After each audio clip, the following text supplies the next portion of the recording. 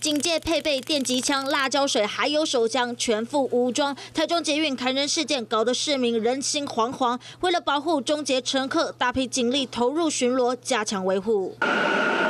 原本上班的高峰时段应该人潮满满的月台，不过现在乘客数却明显减少。哦，因为自从发生这件事情之后，就是会比较不敢来捷运，不敢坐捷，就是会怕怕。但有警察就比较放心。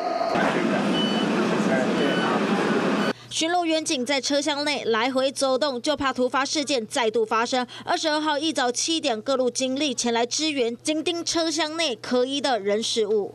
从各单位、保大、交大及各分局。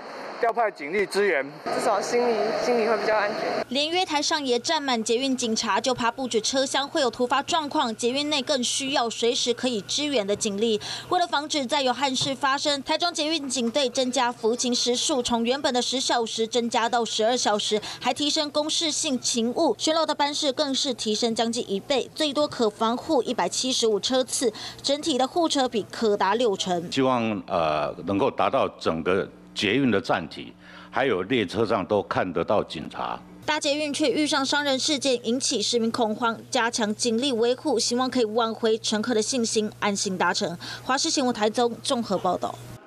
Hello，我是林明瑞，想要抢先掌握最及时的新闻资讯吗？赶快订阅、按赞、开启小铃铛，锁定我们华视新闻的 YouTube 频道。